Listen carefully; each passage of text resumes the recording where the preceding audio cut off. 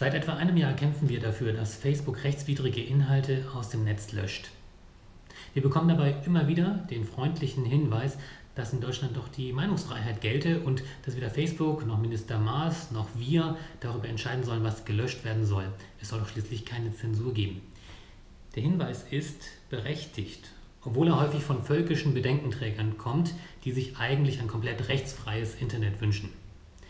Wir dürfen Facebook nicht zum Sachwalter von erlaubten und verbotenen Inhalten machen. Das Beispiel von dem gelöschten Napalm-Mädchen zeigt, dass Facebook hierzu auch gar nicht in der Lage ist und nicht bereit ist, diese Verantwortung zu tragen. Soll sich Facebook deshalb raushalten und erst auf gerichtliche Beschlüsse warten, die es eigentlich gar nicht gibt, während Mordaufrufe weiterhin online stehen? Nein, Facebook muss in erster Instanz selbst die Beschwerden verbescheiden, prüfen, aber es darf dabei nicht bleiben. Es braucht eine weitere Instanz, sowohl für den Beschwerdeführer als auch für denjenigen, dessen Inhalte gelöscht werden sollen. Am Ende muss eine gerichtlich überprüfbare, transparente Entscheidung stehen, mit der sich Facebook für seine Prüfungsrichtlinien und seine Prüfungsinhalte rechtsstaatlich verantworten muss. Streitige Inhalte sollten zunächst nur gesperrt und dann nach einer endgültigen Entscheidung gelöscht werden.